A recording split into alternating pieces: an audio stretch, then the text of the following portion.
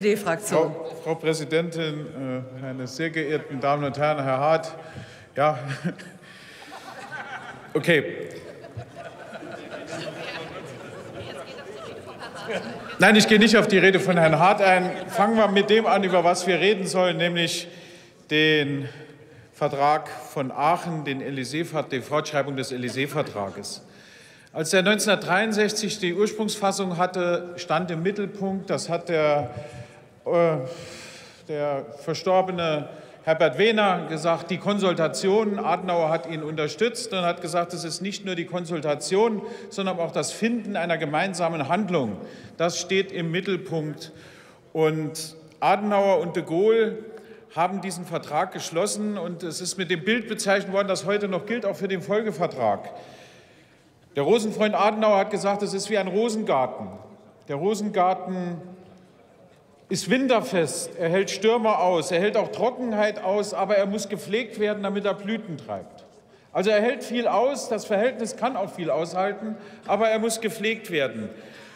Adenauer und de Gaulle haben den Vertrag geschlossen, gepflegt haben dies andere, Pompidou und Brandt, Giscard d'Estaing und Schmidt, Mitterrand und Kohl und Chirac und Schröder.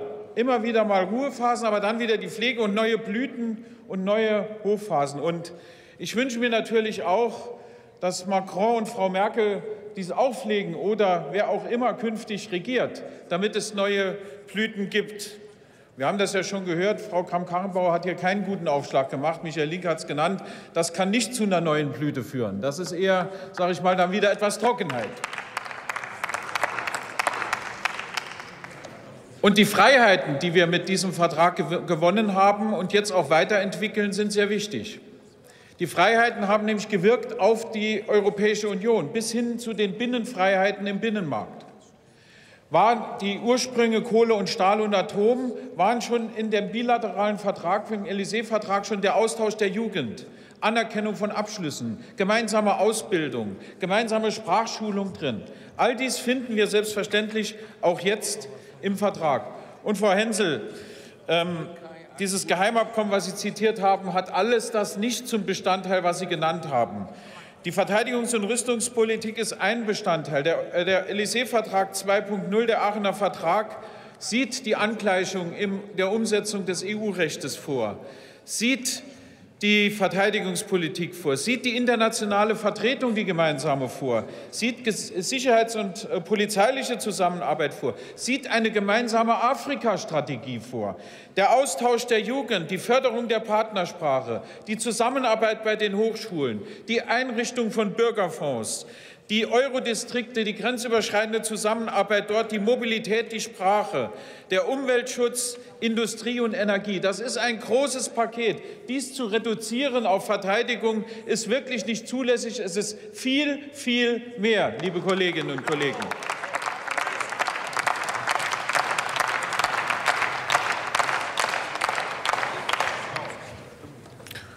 Und dazu trägt die Bundesregierung äh, dazu bei, dass dieses Verhältnis in diesem Vertrag, welcher einen Meilenstein wiederbildet, natürlich der Motor in Europa sein muss. Und Geschichte wiederholt sich. Auch 63 hatte man Angst, ob es jetzt ein Europa der zwei Geschwindigkeiten gibt, ob das etwas eine Konkurrenz zur NATO sein sollte.